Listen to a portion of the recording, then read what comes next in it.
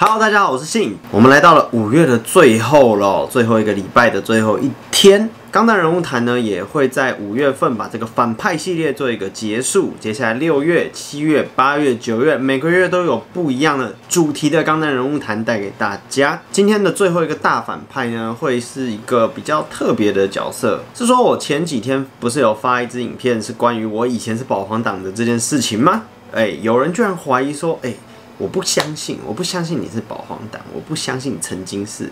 你的 ID 是信哎，怎么可能？我跟你讲，为什么我 ID 会变成信哦？我其实最早的 ID 并不是信，是超级丢脸，挖自己黑历史哦。来喽，我最早的 ID 是 I am Kira 零五一八，我是基拉零五一八，零五一八是什么？零五一八就是基拉的生日，没错，我当时喜欢到连他的生日都记得，拿来当自己的 ID 哦，用了大概三四年吧，差不多这样子。我想在钢弹版应该还能找得到我当时用这个账号写下的文章哦。所以啦，再不相信我曾经是保皇党，我也。没有办法了。好，那么我们前言已经讲完，我们该进入我们五月的最后一个反派人物谈了。那个反派就是欧普的狮子乌兹米纳拉阿斯哈。我知道有观众看到这边已经觉得，靠，你又要讲什么东西来颠覆我们的既定印象了吗？啊。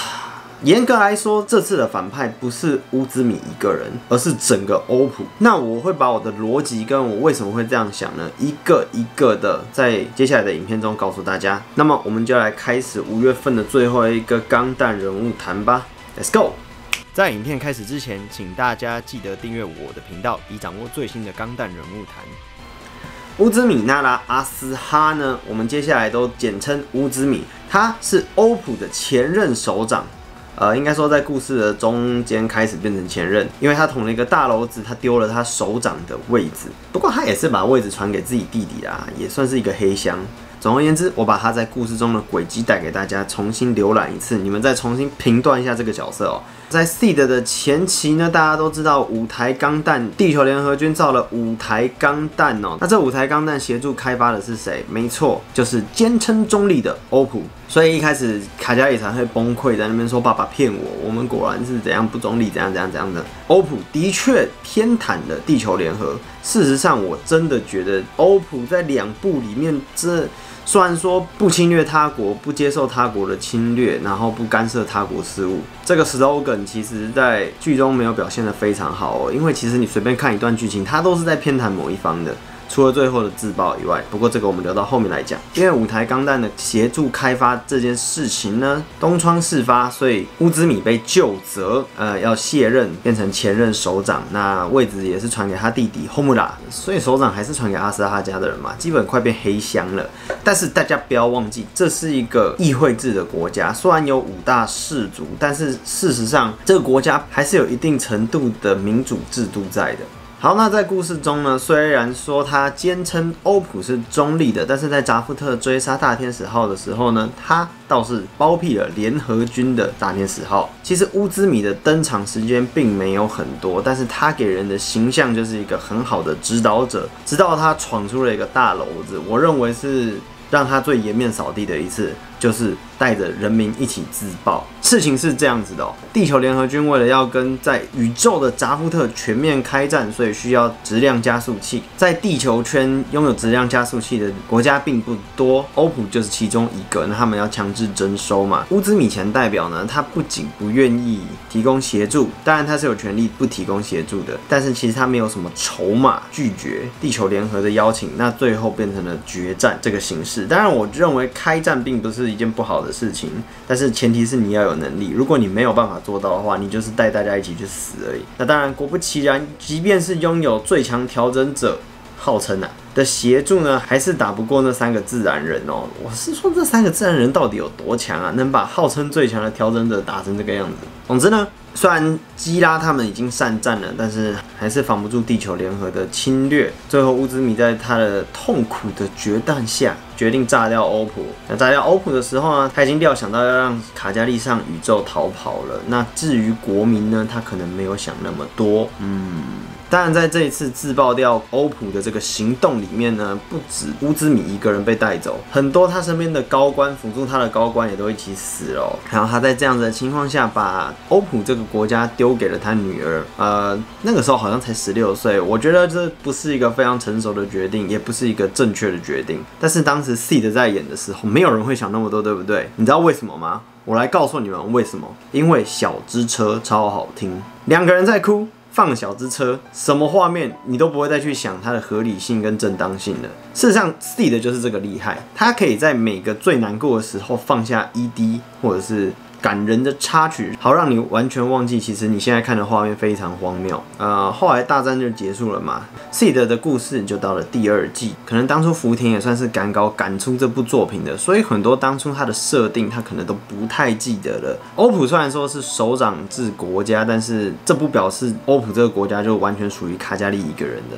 塞兰家的尤拿。你们都很讨厌他，对不对？因为他看起来很屁。我告诉你，我也很讨厌他。但是事实上，他差点拿到首长的位置，完全是一个正当手段拿到的。就算是用政治联姻，那也没有逼卡加利一定要接受。只是在失去所有能辅佐卡加利的高官的情况下，卡加利能做出的选择并不多。所以乌兹米到底为什么要害你女儿落到这个田地？其实卡加利是蛮可怜的。但这件事情我会另外开一个影片来讲。虽然我觉得大天使一众很多人都怪怪。的甚至不太正常，但是卡加利还真的算是一个蛮倒霉的人物。后来大家也是知道的，在这个国民都在看的政治婚礼之下呢，基拉直接开自由钢弹把他们的首长卡加利掳走哦。这个行为毫无疑问就是海盗行为。当初看可能会觉得很爽很过瘾，但是大家换一个层面去思考的话，会发现如果你直接这样子直接把首长绑架走的话，那个政权会落到谁手上呢？原本卡加利或许还握着最后一丝丝的政权，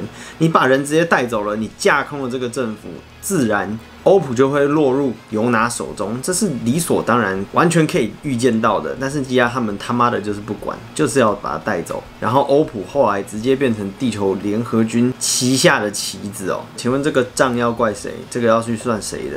乌兹米要是知道他当初那个草率的决定会导致这个情况产生的话，我不知道他会作何感想啦。但我只能说，无论是乌兹米或者是欧普的理念，在 Destiny 的时期完全扫地。卡加利不仅离开自己的工作岗位，甚至以前首长的身份乱入战场，这等于就是在对欧普当局承认说他放弃了这个职位，这国家就让给尤拿了吧。所以尤拿拿到政权完全是合情合理的。虽然他很讨厌，他很惹人厌，但说实在，他除了态度很欠。咒以外，在获得政权的这件事上，我倒觉得他完全是站得住脚的。当然，他跟理法联手，那又是另外一回事了。既然提到乌兹米的策略全盘皆崩这件事，那我就一定要提到后面最著名的燕之飞小钢弹的登场喽。嗯，众所皆知，后来因为杜兰朵在抓战争罪犯洛德吉布列嘛，那因为塞兰加跟蓝色宇宙联手，所以杜兰朵自然是找上欧普。要求欧普交出这个战争罪犯，欧普抵死不从，那也没办法，那就开战吧。但是后来你猜怎么着？卡加里回到欧普第一件事情是先去领他那台帅气的小钢弹，然后也没有发出任何停战声明，甚至也没有道歉。然后扎夫特就跟他们陷入僵局，事情越演越乱。结果来看。攻击自由钢弹、无限正义钢弹、小三机联合一起护送吉布列上宇宙，启动镇魂曲，轰爆了三座殖民地。这件事情我讲了很多次，似乎是不用再提的。但是大家好像看漏了一个很重要的东西，很重要的一个小地方，那就是小这台钢弹完全是贪污的产物啊！为什么是贪污？首先，小钢弹的设定要先搞清楚，这台机体在。两年前开发五 G 的时候就已经在做研究了，也就是说乌兹米从很早的时候就在贪污了。这台小钢弹的造价非常之高，高到当时的开发人员不得不冻结这项计划哦。光是它表皮的那那层镀金的纳米装甲，根据设定它可以造二十台 M1 一端，这是在干什么？好吧，我换一个说法，一个总统贪污，只为了留下一台超级昂贵的机密机体给自己女儿。其实放到现实世界，这传出去能听？吗，这就是弊案啊，这就是贪污啊！只是因为当时音乐很好听，燕之飞很好听，所以大家都忘了这件事情。哦，对了，哎，小钢弹不是有龙骑兵可以用吗？为什么吴子女会造出这种他女儿根本不能用的东西？再说龙骑兵这个技术应该是扎夫特的吧？为什么他会有呢？嗯。好了，这或许又是一些不可告人的秘密吧。不过在这边也可以很清楚的跟大家讲，这完全是 Seed Destiny 后期临时瞎掰出来的机体，已经完全不考虑任何剧情的正当性跟合理性了。早在两年前，你就在研发这种几乎是超级机器人的东西。那两年前你国家快被烧掉的时候，怎么不拿出来用？小的钢弹的存在不仅是弊案，也是一整个不合理。难怪卡加利看到这台钢弹的时候要哭。你知道《是 Destiny》第一集的时候，他才对议长说过：“太大的力量会引来纷争。”哎，抱歉，同一时间，你的领土下面有一台自由钢弹，你们家机库里面有一台超级机器人小钢弹啊。或许卡加里看到这台小钢弹在哭，是因为他觉得他爸让他好丢脸啊，他不知道用什么脸面对杜兰朵议长。你看，这只是小的部分就可以讲成这样了。你再看看另一边，卡加利夺回政权之后，第一件事情做的是什么？把尤拿五花大绑绑起来揍，这个不就是普通的政治迫害吗？事实上，我觉得《Seed Destiny》的后期，欧普这个国家已经越来越不要脸，越来越无法无天了。我就随便拿一两件小事来讲就好了。在 Destiny 的初期，扎夫特的船只才刚从欧普离开，马上就被欧普背刺攻击。这也难怪为什么真飞鸟他们一行人会超不爽啊！我刚刚才把你们的首长送回本国，你们马上对我们开火是什么意思？是几个意思？更不用说两年之间，议长协助让欧普的难民有一个安身立命的地方居住，结果你欧普怎么报答人家的？太多议长没有主动去打你们国家，已经算是很仁慈了，你们知道吗？最后我再讲两件会让乌兹米哭的事情。第一。欧普的理念是不侵略他人，也不容许他人侵略，然后也要保持完全中立，绝不向任何一方靠拢。但是事实上，在这次你后期的欧普已经完全看不到这样子的精神了。他们不仅机体一半都是扎夫特的，而且还到处主动开战。最后议长也没惹他们，他们就直接冲上去打。你不是不干涉他国事务吗？我真是搞不懂这个理念到底还在不在。最后一件事情，乌兹米留下的那台小，最后给谁开去了？大家仔细想。想，没错，那就是在几画前还在柏林策划一场大屠杀的穆拉弗拉卡。那时候他还是尼欧诶，他记忆也还没有回来。为什么他们就这么的有胆量把这台机体交给尼欧开呢？难道不怕小就这样直接被开回地球联合军吗？而且刚策划完屠杀的人就开这样子的机体开爽爽也不太好吧？就算他记忆回来了，他犯过的错也不会消失啊。如果只论 C 的时期的话，乌兹米还勉强算是一个勇敢负义的国家领导哦。起码 C 的的时期战争是结束了，但是 Destiny 的时期真的是完全出轨了。乌兹米想做的事全部失败，前面的那些英勇在小这台机体出来之后，完全变成笑话。虽然音乐很好听，让大家完全忘了逻辑这回事情，但是只要用一点点的、有一点点正常的逻辑思考，这这都是不对的。我当然理解他的精神有多崇高了，但是把 Destiny 时期发生的任何事情补上去的话呢，乌兹米只是一个搞贪污、不不管国民死活的昏君而已。而这样子国家级别的灾害，我 认为是不输我前几期钢弹人物谈讲的任何一个反派哦。好了，以上就是我对乌兹米的想法。可能很多人会觉得，哇靠，信你怎么会这样子讲乌兹米？你怎么会这样子讲欧普呢？可是我必须在这边跟各位说，很抱歉，欧普在 Destiny 时期。真的就是一个乱源，所有最糟糕、最黑暗、最莫名其妙的东西，全部都集中在欧普。所以我认为这个国家跟这个领导人够格成为反派系列的最后压轴角色。喜欢这支影片，麻烦喜欢也麻烦订阅我的频道。我们很快就要来进入我们的回复留言时间，Let's go！在影片开始之前，请大家记得订阅我的频道，以掌握最新的钢弹人物谈。小弟这个常在巴哈版打混的，来讲讲信当年对钢弹版的一些误解。当年正在乱的时候，大概分了几派：一是喜欢 C 的跟大天使势力的，就是所谓的保皇党；二是喜欢 C 的，但是却是喜欢其他势力的，这是保皇党初期攻击最凶，也是立场最弱。三三是旧友，老早就在钢弹版打混，如小弟等人，其中板上大佬也都在这里居多。初期其实只有两者实力在战，前面老钢弹迷还会还会以啊连 G 那种都可以的 C 的比起来还好啦，以求两边停火。但随着两派党争越来越夸张，连别人父母都问候的时候到了，第三势力，也就是以大佬为首的旧钢弹迷开始也怒了，开始主动与保皇党交战，并以他们强大的设定资料以及他们的理工背景，没错，钢弹版。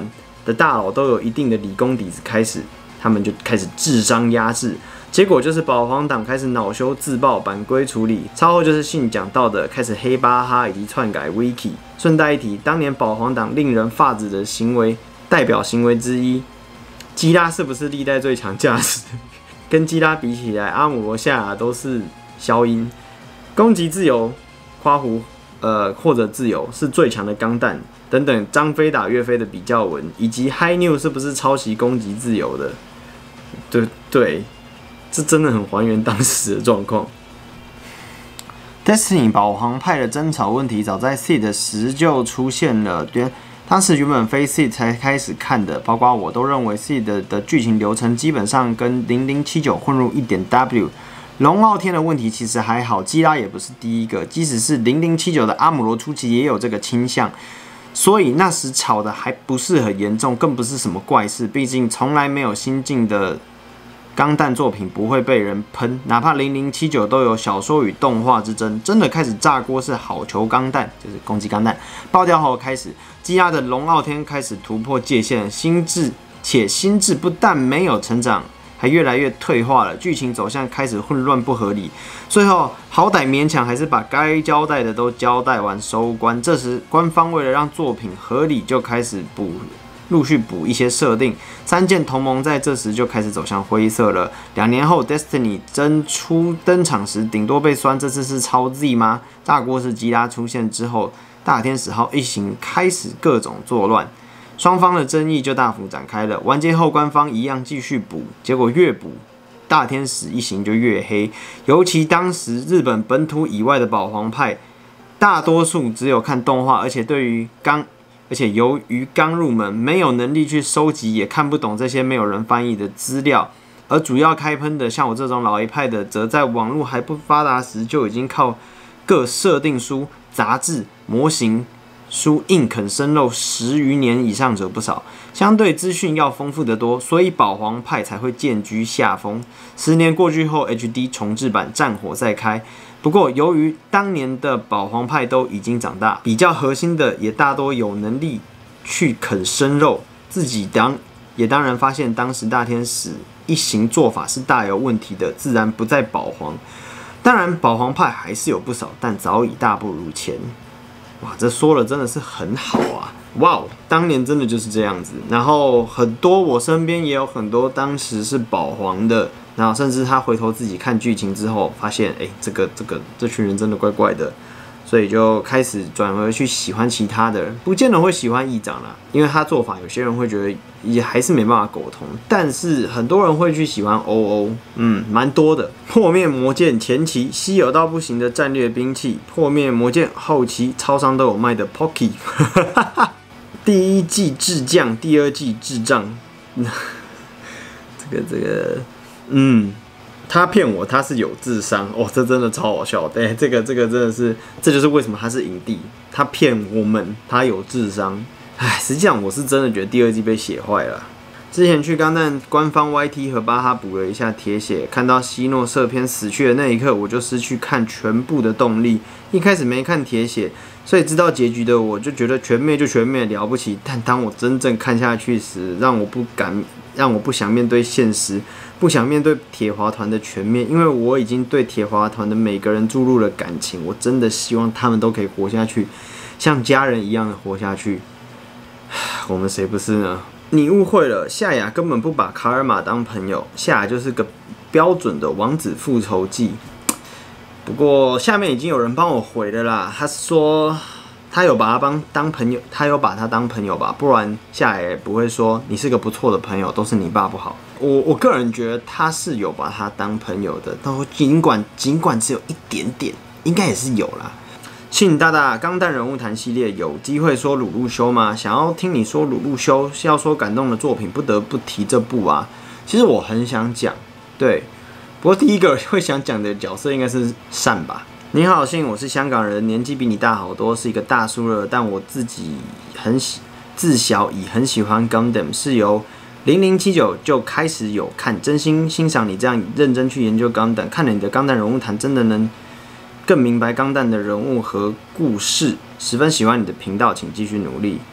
哇，谢谢谢谢谢谢各位各国的好朋友们，呃各国的观众朋友们，真的是非常感谢你们的收看，还有还有支持哦。其实我很多香港朋友，他们小时候都在看《钢弹》，可是我不知道为什么哎，就是我我们小时候是看 Animax 啊，或者是中视，不过不过香港是看哪一台，我还蛮好奇的。我以前也是巴哈姆特钢弹版常客，只是账号被 A 就没再去了。曾经跟一个保皇党吵过，吵过，印象很深刻。拿设定跟他讲，他居然回我：“你们设定除又要搬设定来压人，官方设定不代表一切，好吗？”我当下整个放弃治疗，回他：“难道难道你回他？难道你脑补出来的东西就是对的吗？”然后对方就开始无限跳针啊。爱惜生命，远离脑残粉。其实我觉得看我频道的人或多或少都有遇过这样子的朋友，这样子的人哦。因为这这个其实是蛮以前就有发生的事情。有些人可能会觉得靠，我觉得是相反呢。当初哪有哪有哪有什么保皇党？我觉得你来晚了，那都已经那那你你绝对是没有 follow 到最可怕的那个时期。你在当时的钢弹版，你连天脉冲钢弹、命运钢弹。你都会被干掉。当年在播映的时候，也是巴哈的议员版主说的是真的。在开播的时候，保皇党保皇党根本一面倒。从开播前五集的时候，就一堆人把飞鸟真批的体无完肤，真的是这样子。当年没 follow 到的人，嗯，真的是可惜了。然后有一个朋友，他的留言真的是非常的长，他叫阿农哦，哇，这个不 不是呃。篇幅有限，我就先不念了。不过这位朋友的留言我印象非常深刻哦，他是一个很好的保呃曾经是保皇党的朋友，我觉得非常好。像他看完我的影片，还是喜欢黄跟攻击自由，就因为帅。我觉得我觉得这样子很好，就是不要紧，就是你能。这个就是完全能够接受这一切的设定，然后还能爱着他喜欢的角色的人。我知道基拉跟攻击自由还有自由刚才这个组合，对很多人的童年都是很重要的一环，我不否认。所以能这样子接受这一切还能喜欢的人，我是真心敬佩他们的。我觉得信讲到一个为何从保皇党变成讨厌他们的重点，就是因为长大了。羁押他们的所作所为，在一个有道德、知道分寸的大人眼里看来，其实就跟恐怖分子没有两样。简单说，就是一群没有道义、没有自制能力、只会脑充的屁孩拿到核弹一样。小孩子会觉得这样很帅、很酷、很屌，但是大人会觉得这些人是乱源。好啦，其实还有很多留言是遗珠之憾，因为其实真的这几天留言算下来已经三千多，快四千个了。我我每一则留言我都有看，特别喜欢的我会用大心嘛，大家应该都知道这个功能。如果我放一个大心，表示我非常认同你的看法，还是感谢你们愿意留言发表这些这么多的看法，丰富我的频道。好，再次呼吁，喜欢我的影片麻烦一个喜欢，也麻烦订阅我的频道，甚至打开小铃铛哦。最重要的是，如果你有什么看法，你觉得很有趣，或者是你觉得很好笑。甚至，哎，你要补充的，就麻烦在影片下方留言告诉我哦。赞数最多，然后很有参考价值的呢，我都会放在下一支影片，像这个形式这样子表现出来给大家。那么我们就下支影片见吧，拜拜。